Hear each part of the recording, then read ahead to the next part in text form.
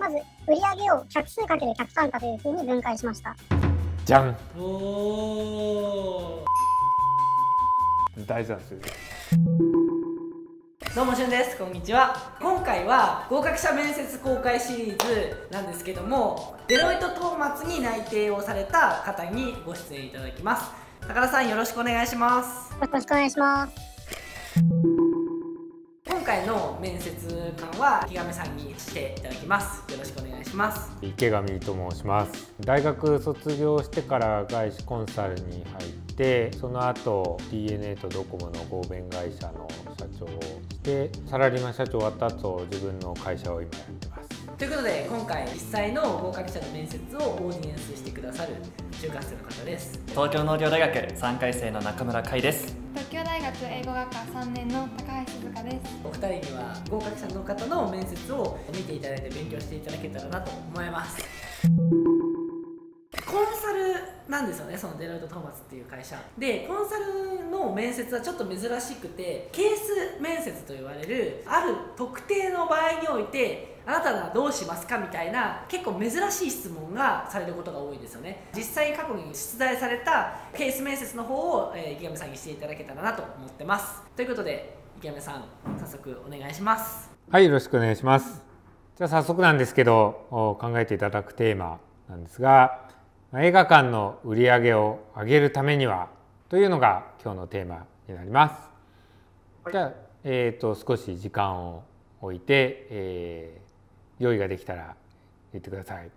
はい。お願いします。ままず、えっ、ー、と、最初にいくつか質問をさせてください。はい。えっ、と、まず、今回はこれは、えっと、コロナウイルスの影響というのはどのくらい考えればよいでしょうか？そうですね。じゃあ、今だとしましょうか。はい。はい、承知しました。えー、他に、えー、今回の、なんていうんでしょう、まあ、今回、えー、コンサルタントとして考えるというふうに思うんですけれども、クライアントは、えっと、映画を上映する会社の社長というふうな認識でよろしいでしょうか？とそうですね、映画館、館、まあ、東宝シネマズだったり、はい、まあ、皆さんが映画を見に行く、そこの場所を、商業施設を持ってるとこですね。ありがとうございます。で今から5分経ったらお声掛けします。お願いします。はい、はい、ということで5分経ったということで高田さんの回答をしていただくんですけどその前にですね実際にあのお二人映画館の上映の、えーと、観客人数を増やすには売り上げを上げるにはどうすればいいと思いました？私だったら映画の配信サービス会員登録制の配信サービスを作るって言おうと思ったんですけど競合が多すぎますね。競合がないところジブリは日本でまだ配信してないですけどそれを日本で配信するみたいな感じのところで売り上げを上げることを考えます。もうあるのか分かんないですけど映画のサブスクとか面白そうだなってずっと思いました。なんかいつでも見れるって、まあ、あんまり人が集中しないのかなと思ったり、うん、今上映されてるもの以外でも結構過去に上映された有名なものとかも、うん、まあ、配信しても、まあ、結構集客目線ではいいのかなっていうふうに考えました。高田さん回答の方お願いします。はいえっとプロセスを追って説明してよろしいでしょうか？はい。まず売上を客数かける客単価というふうに分解しました。まずえ客単価の方から触れていきます。客単価は映画館の場合え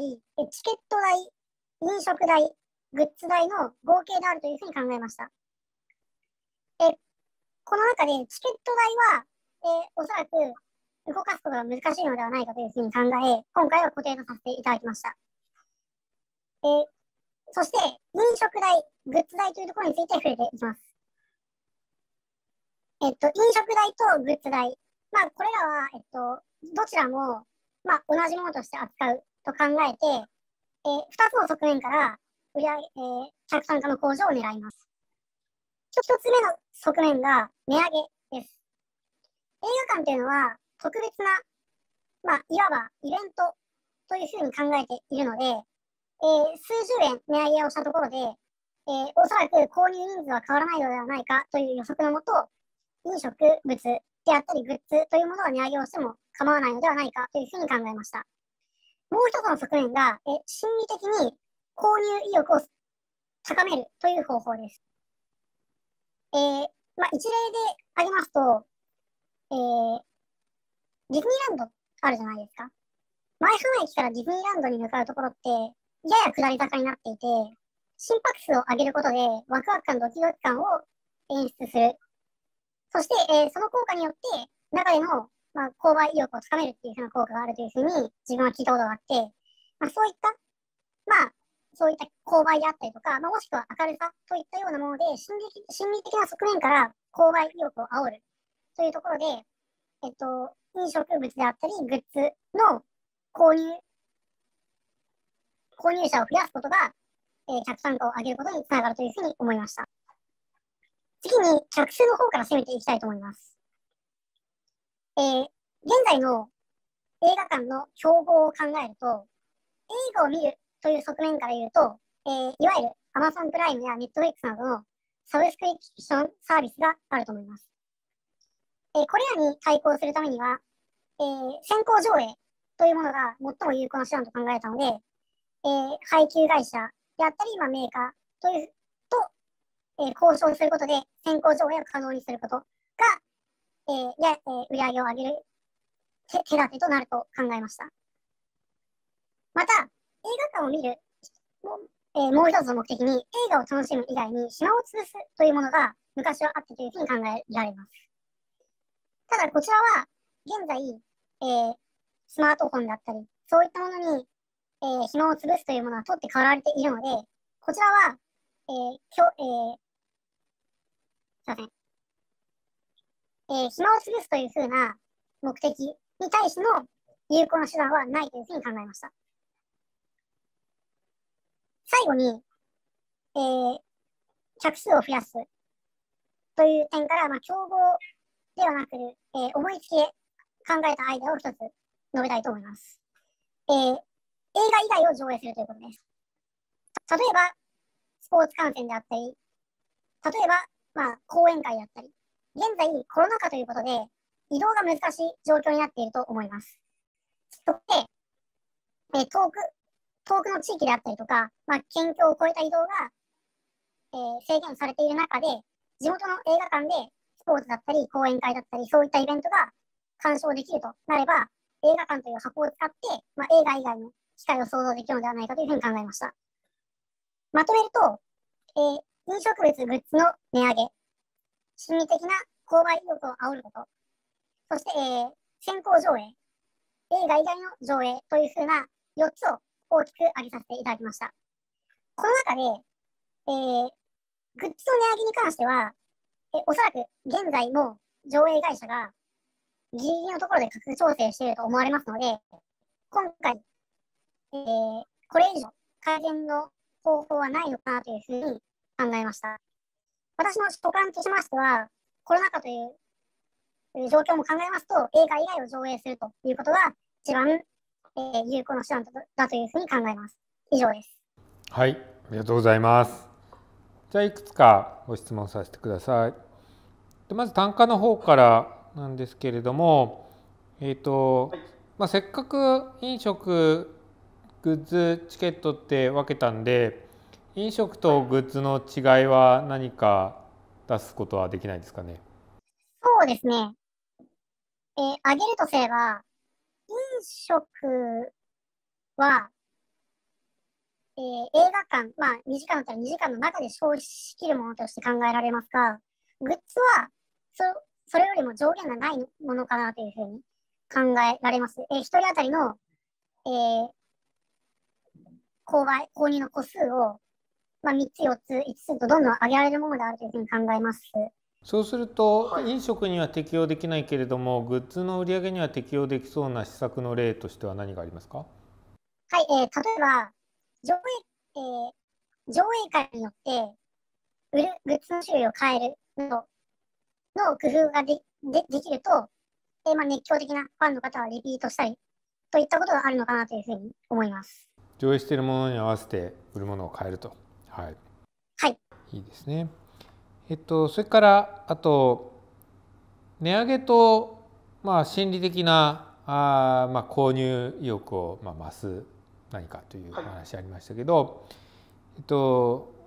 これを、えっと、そうですね、レベル感合わせるってできますかね。そのこれだけしかないのかと、まあ、なんかミス、まあうん、そうだな、まあ、この2つだけで本当に漏れなく全体なのかどうかっていうどういうふうに整理するとあこれって漏れてないなってなりそうですかね。はい、えー、っと心理的というものを一つ置くと、まあ、もう片方が物理的というふうな表現になるのななるのかなというふうに思います。物理的ということは、まあ、つまり、えー、飲食物だったりとか、グッズに工夫をすると、そのものに工夫をするということなので、そういったところから企画というものが導かれるのかなというふうに思います。心理的か物理的かと。はい。はい、他にもう一個ぐらいいけますか？心理的物理的の並びでですかね。心理的物理的以外のあの軸、切り口。すいません、ちょっと今自分は思いつかないです。うんなんか例えばこれ値上げするってことは買ってる人の単価を上げるっていうことですよね。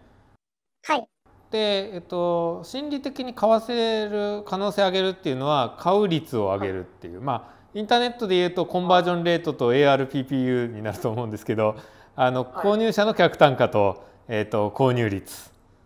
っていうふうな、まあ、分け方もあるのかなと思いました。なるほど。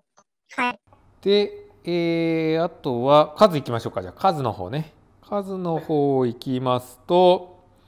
えー、そうですね。これもまあ最終的にはい。と映画以外を上映したらいいんじゃないかとでその時にまあ思いつきなんですけどって一応面積してもらったところを申し訳ないんですがこれを思いつきじゃなくすとするとどういう整理をすると数の方を分類できそうですかね。まあ、映画と映画以外って言っちゃったらそうなんですけど、まあ、それだとつまらないので、他のが欲しいですね。難しいですね。これでも映画を流すか映画以外を流すかっていうのは何について話してますか？コンテンツです。そうですね。そうするとそれと同じレベル感のものって何がありますか？映画館にとっては。コンテンツと箱。箱？映画館とにとって箱とは？建物。建物。具体的には？シアター。ん？一緒だな。えっと建物の中には何がありますか？椅子です。まあ椅子だったり席の数だったりまあそういったものは変えられるかもしれないですよね。であとコンテンツを日本語で言うと何になりますか？文章でもいいんですけど。えー、内容。内容。疑問文で言うと。疑問文ですか？はい。映画映画館が。はい。ほにゃほにゃほにゃ。何？はいはいはい。映画館が？映画館が？何を？何を？そうですね。見せますか？見せますか？その通りです。はい。それと同じレベル感で何を見せるか以外の論点何がありそうですか？はい、はい、えー、何を見せるか。誰に見せる誰に？はい。いつ見せるいつ、はい、だから先行上映っていうのはいつってことですよね？あ確かにそうですこれでだから揃いましたね。はい。でそうすると何といつがあって誰とかもありそうだというのがまあ見えてくるみたいな、はい、あとはそうですね、まあ、コロナっていうのがせっかくあったからはい、これもうちょっと入れるとするとどこに入れたかったみたいなのってありますか？そうですね。コロナがプラスに働く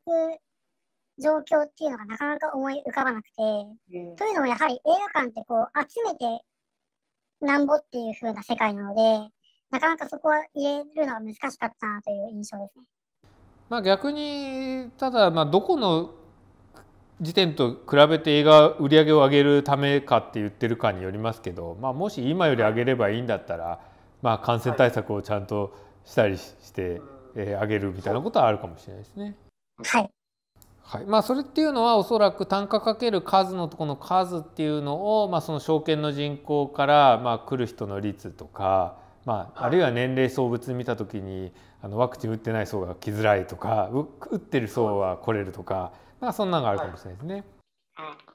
じゃあえっと大体そんな感じで良いかと思います。はい、ありがとうございます。今池山さんが面接官だったら採用採用どちらあげますか？じゃん。おー合格結構その場の反応とか言われたことをどれぐらい取り入れてその場での成長を見せるかみたいなのって大事なんですよね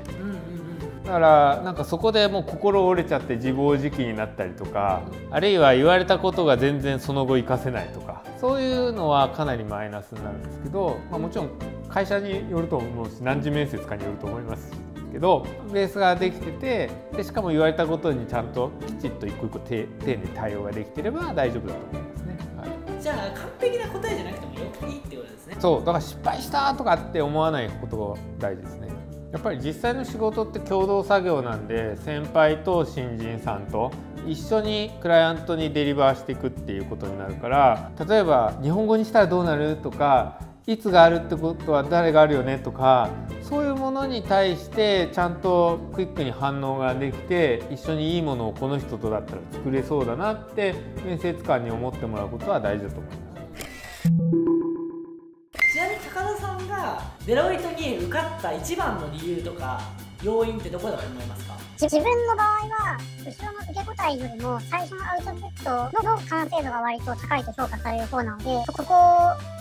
一つ要因としてあると思います。それを達成するためにどういうことを意識したとか視聴者の皆さんでも真似できるような形ってなんかできることとかってありますか？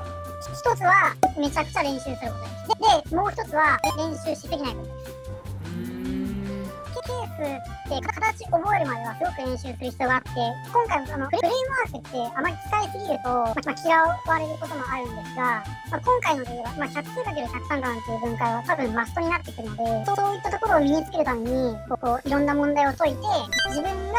使える方っていうのを増やしていくっていうことは一つ大事だと思います。たただ、それをやりすぎるとどうなるかっていうと、例えば今自分は最後思いつきなんですけど、映画以外上映した方がいいと思いますっていうふうなアウトプット言ったと思うんですけど、そそういうアウトプットって多分客数かける100単価っていう分解を突き詰めていったところでなかなか出てこないと思うんですよね。そういったところで一歩引いて全体を見見るだとか、他にないかなっていうふうに最後に発想転換するだとか、そういった能力っていうのも忘れずに身につけていくべきだというふうに思います。練習って自分で問題を解くっていう感じなんですか？それとも友達と模擬ケース面接をやってたみたいな感じなんですか？最初は本がやはり一番大事だと思います。おすすめの本あります？おおすすめの本はおおそらく一番一般的な東大生が書いたケース面接フレーム推定シリーズっていうものがあるのでそうそういった本を最初に解きました。そのその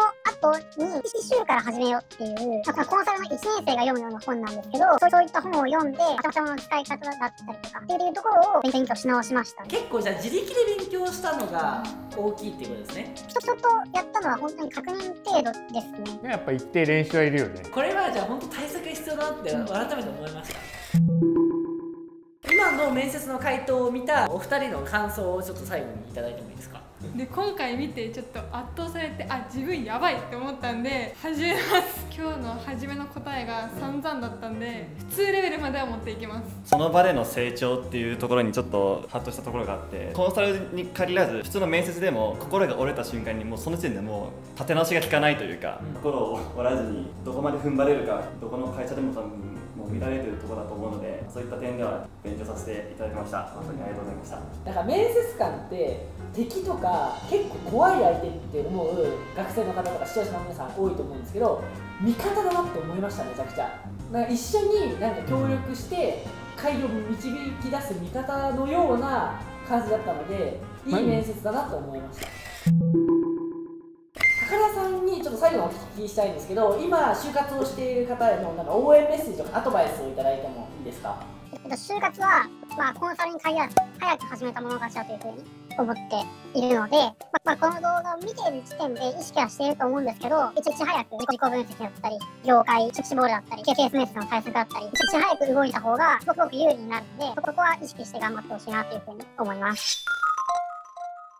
ちなみに池上さんの SNS や池上さんの会社であの募集しているインターン生のあの応募フォームは下の概要欄に貼ってあるのでよかったら皆さん覗いてみてくださいよよろしくお願いします。ろしくお願いしますということですごく勉強になりました本日は皆さんありがとうございましたありがとうございました。就活会議と旬ダイアリーで自己分析ツールを共同開発しました40問の質問で自分では知らない意外な性格が診断できます就活生の皆さん、概要欄からぜひ使ってみてください。ご視聴ありがとうございました。